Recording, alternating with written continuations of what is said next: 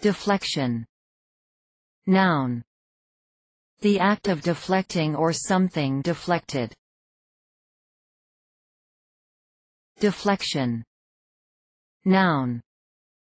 The deviation of a needle or other indicator from its previous position. Reference